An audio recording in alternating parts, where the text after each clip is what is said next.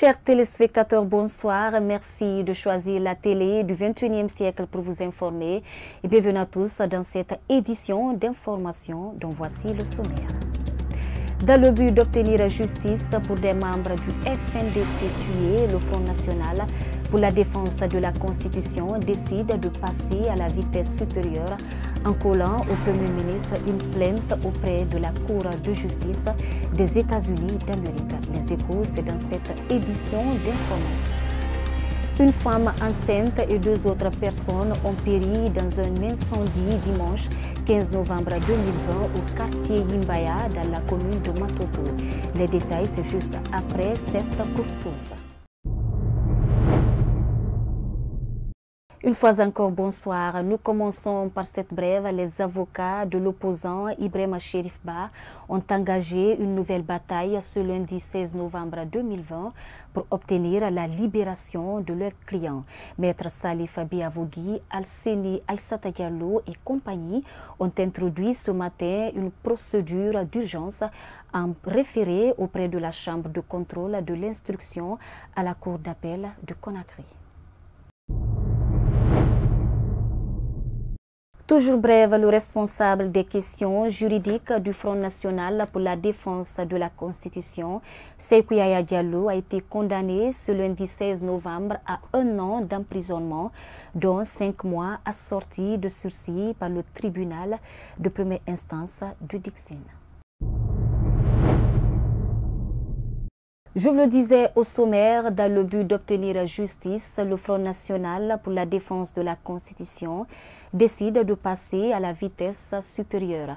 Il envisage de porter plainte contre le Premier ministre guinéen Ibrahima Kassori Fofana devant la Cour de justice des États-Unis d'Amérique. Nous avons joint le responsable des opérations du FNDC. Kadia Toubari nous signe ce reportage. Le Front national pour la défense de la Constitution décide d'engager une poursuite judiciaire contre le Premier ministre Ibrahim Kassori Fofana. Selon le responsable des opérations du FNDC, c'est suite aux propos proférés par le Premier ministre à deux semaines de l'élection présidentielle du 18 octobre à l'endroit du FNDC qu'il y a eu l'assassinat de deux des leurs. Écoutez, vous savez, euh, deux semaines avant les élections présidentielles, euh, Ibrahim Kassori Fofana en sa qualité de Premier ministre et directeur de campagne du RPG, euh, lors d'un meeting à Forécaria, a menacé de mettre le feu sur le FNDC, mais aussi de traiter les leaders et responsables du FNDC comme des bandits. Donc, euh, juste après les élections, dans la période du 20 au 22 octobre, il a joint cette menace à l'acte parce que vous avez constaté que nous avons perdu deux responsables du FNDC, un assassiné à Conakry, le coordinateur du FNDC Somponia, et le deuxième, le second, est le coordinateur euh, du FNDC Pita qui a été assassiné dans cette euh, localité. N'ayant pas confiance à la justice guinéenne, le FNDC s'est tourné vers l'Occident, notamment les États-Unis d'Amérique. À cette occasion, le chargé des opérations de ce mouvement n'a pas hésité de pointer un doigt accusateur contre le Premier ministre d'être à la base de l'assassinat de leurs représentants à Sonfonia et à Pita. Et je précise que les forces de défense et de sécurité qui ont exécuté cette décision de Kassori Fofana avait les photos des responsables du FNDC. Donc, euh, c'était un, un, crime prémédité. Et pour nous, puisque nous n'avons pas euh, toutes les garanties que la justice guinéenne va être impartiale, euh, dans, dans, les dossiers où les commis de l'État sont impliqués, nous avons jugé utile de porter plainte contre Kassori Fofana devant une juridiction américaine en tant que citoyen américain, parce qu'il a un passeport américain. Poursuivant, Ibrahim Diallo affirme que actuellement, le FNDC est en phase de la documentation et de la rédaction de la plainte qui sera déposée au mois de janvier prochain. Néanmoins, le responsable des opérations du Front national pour la défense de la Constitution souhaite que justice soit rendue aux victimes.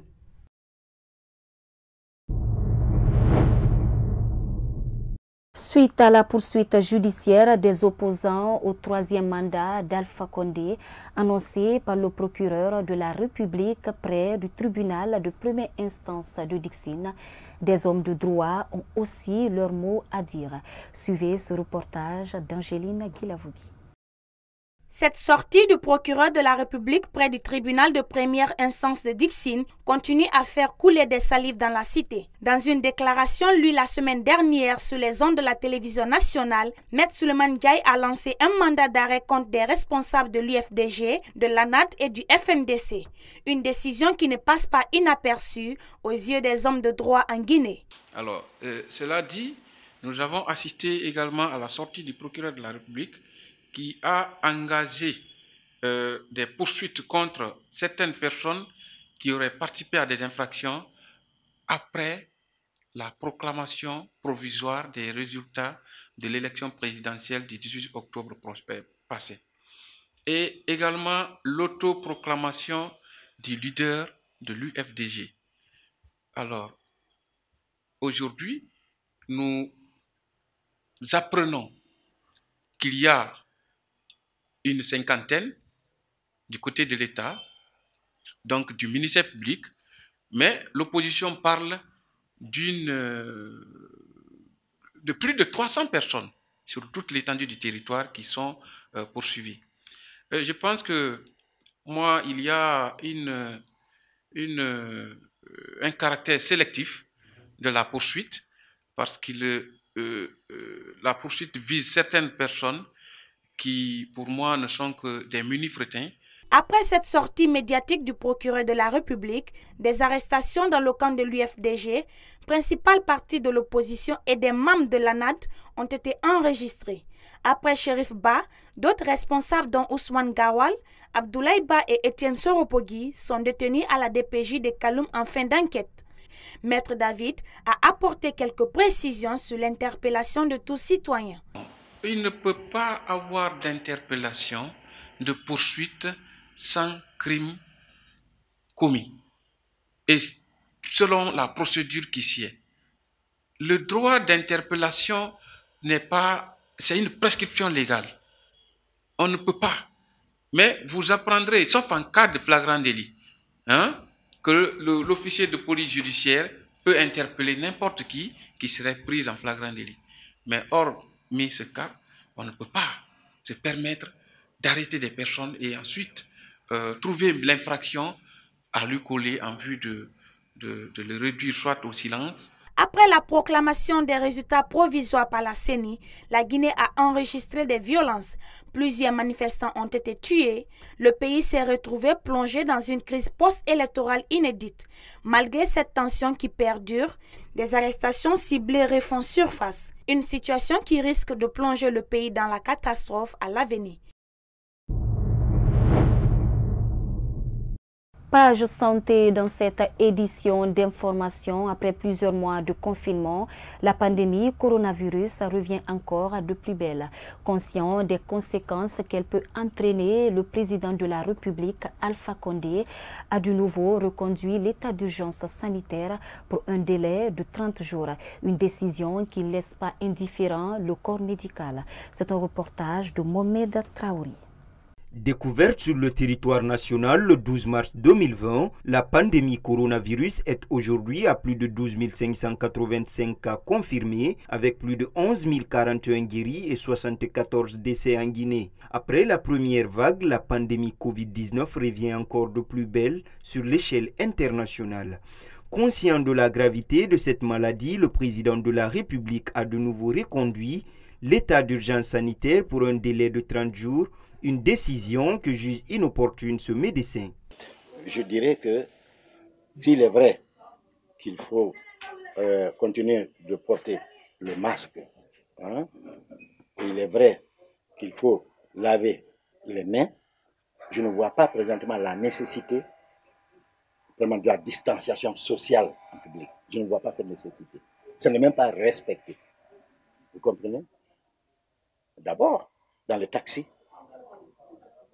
on est revenu à l'ère avant coronavirus. Le nombre de passagers qu'il y avait quatre derrière, deux devant avec le chauffeur 3, c'est le même nombre qu'il y a actuellement. dans nos mosquées. Les gens sont soudés les uns aux autres. Une fois de plus, on peut porter les masques dans ces lieux. On doit laver les mains, pas seulement pour coronavirus, mais pour sa propre santé.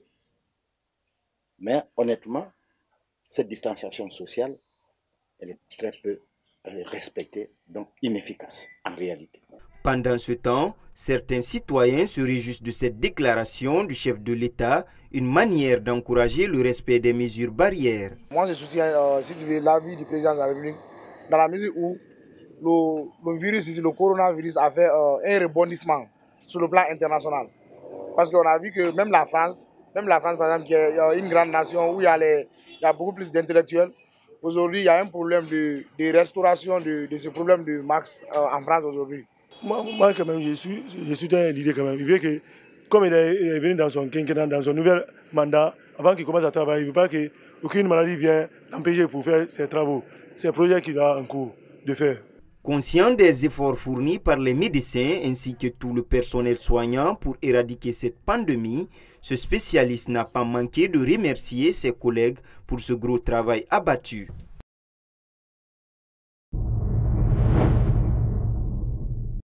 Je vous le disais également au sommaire, une femme enceinte et deux autres personnes ont péri dans un incendie dimanche 15 novembre 2020. Le drame s'est produit à Yimbaya, dans la commune de Matoto. Très touché par cette tragédie, le père de famille reste inconsolable.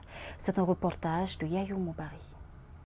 Trois morts, dont une femme enceinte, c'est le bilan d'un incendie survenu dans une concession au quartier Yimbaya Marché, dans la commune de Matoto. Un coup de circuit serait à la base de cet incendie. Euh, oui, euh, c'est ce drame qu'on a vécu hier matin. Euh, vous voyez la maison, c'est la maison de mon ami Alexis Ousmane Diallo, qui est le directeur général d'un hôtel de Antonio Soare. Comme lui, il est très matinal. Hier, 5 heures déjà, il était sur pied. Il avait rendez-vous avec son patron à Doubré Cap pour la visite d'un hôtel. Malheureusement, arrivé à Kagbele, il a été aussitôt appelé que sa maison a pris feu. Pendant ce temps, il y avait sa femme enceinte de 8 mois qui était dans la chambre avec sa fille Tété Gallo et la jeune sœur de sa femme. Donc, euh, moi, j'ai été réveillé, comme je suis à côté à l'étage qui est tout près. J'ai été aussitôt réveillé par ma femme, me disant quand on lève-toi, lève-toi, c'est la maison de ton ami qui a pris feu. Je suis descendu en courant à l'étage. Tout de suite, j'ai vu une voisine pleurer qui passe, qui dit que tout le monde est décédé, ceux qui sont dans la maison. J'ai failli piquer crise. Mais j'ai été ressaisi par ma femme qui dit non, ton ami est venu, lui aussi, il a piqué crise, il n'était pas dans la maison. Malgré la présence des secouristes sur les lieux du drame, rien n'a pu sortir de la maison d'Alexis Diallo. Sous le choc, il s'est évanoui avant d'être transporté à l'hôpital de la base militaire de Yimbaya. Donc j'étais obligé de m'occuper d'abord de mon ami, puisqu'il y avait un sapeur-pompier qui était là déjà pour calmer le feu. Les voisins aussi avaient fait beaucoup pour même casser le mur, mais ils n'ont pas pu malheureusement. Et la femme, pendant qu'elle était, là, elle pleurait, elle criait de venir au secours. Elle ne pouvait pas toucher à ses portes, puisqu'il y avait le feu. Il y avait le courant sur la porte partout. Donc, euh, moi, j'ai pris mon ami Alexis Diallo, je l'ai conduit à la base militaire comme à un centre de santé pour le calmer. Pendant ce temps, j'étais déjà informé que les trois, toutes les trois personnes qui étaient dans la maison étaient déjà mortes. On a envoyé les trois corps à la base militaire discrètement de l'autre côté. Et Alexis, j'étais à côté de lui avec les médecins pour le sensibiliser. Il ne cessait de me demander, mais Traoré, où est ma fille Tété, où est ma femme Jeanne, ma femme?